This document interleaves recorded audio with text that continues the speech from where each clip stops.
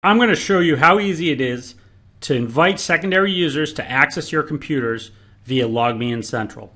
Within Central, simply go to the Users tab, and from there you have the ability to invite users, request access, or manage the existing users within your account. I'm going to click on Invite Users, in which case it will provide me with a prompt and selections in order to define my invite criteria. I'm simply going to provide the email address I want this invitation to go out to. Under permissions, I have the ability to grant full control or partial control. In this case, I'm only going to grant this user the, the rights to be able to deploy computers, run user management, configure alerts, group management, and access reports.